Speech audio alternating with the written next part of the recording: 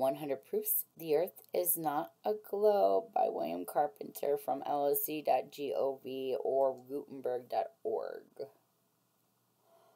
We are on number 10. That the mariner's compass points north and south at the same time is a fact as indisputable as the fact as that two and two makes four but that this would be impossible if the thing were placed on a globe with quote north end quote and quote south quote as the center of opposite hemispheres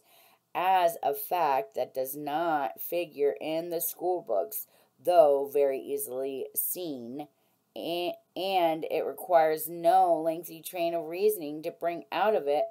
a pointed proof that the earth is not a globe